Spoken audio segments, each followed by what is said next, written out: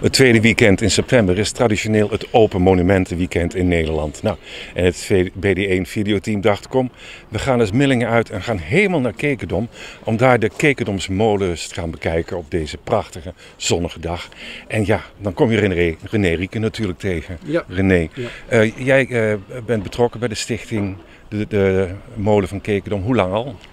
Uh, vanaf 2010 uh, zij was stichting uh, Molen de Duffelt actief op deze molen. Ja. Iedere stichting heeft een doelstelling. Wat is de deze? een hele brede toestelling.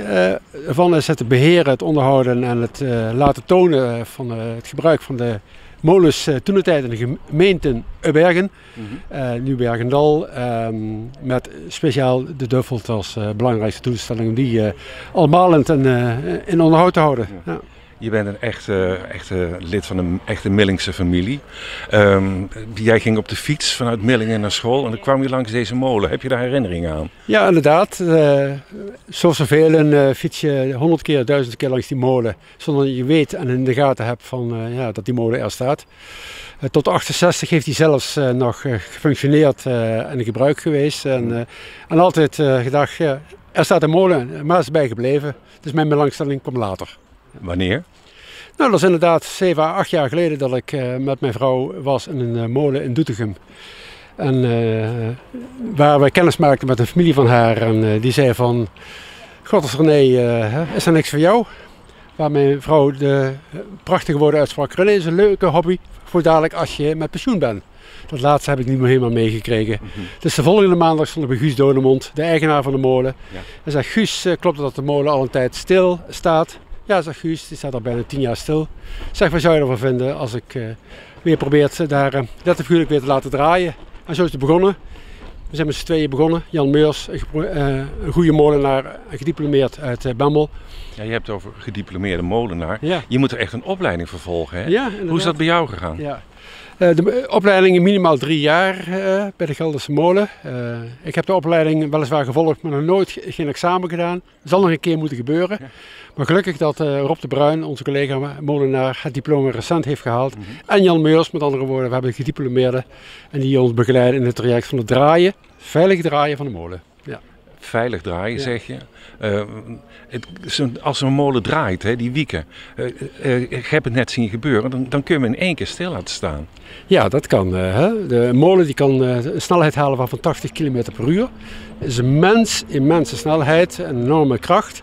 We kennen het allemaal het spreekwoord dat je geen klap van de molenwiek moet krijgen.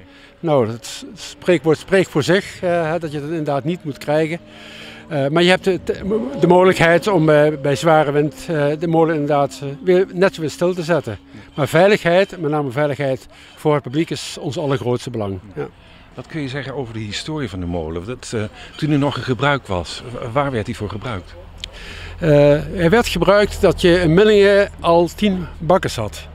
En zelfs in Kekendom, het kleine dorpje Kekendom, had vier bakkers.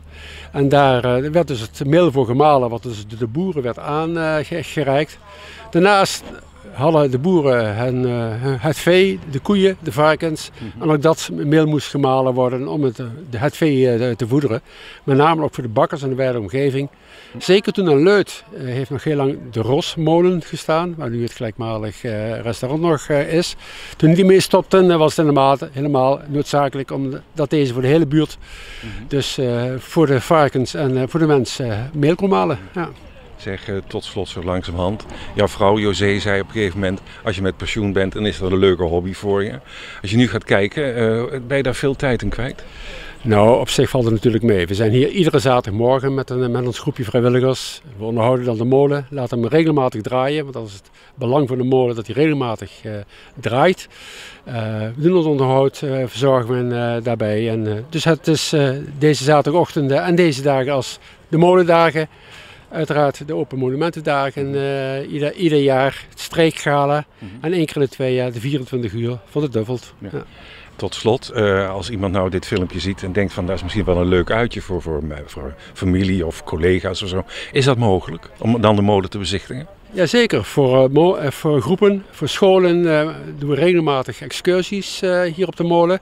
Kunnen dan een leuk programma ervoor uh, aanbieden. Kijk op Facebook en op het internet en je vindt de gegevens hoe je het makkelijkst met ons in contact kunt komen. Oké, hartelijk dank en nou weer snel naar de Riefkoegen. Lekker, ook dat is een monument. Oké, dankjewel René.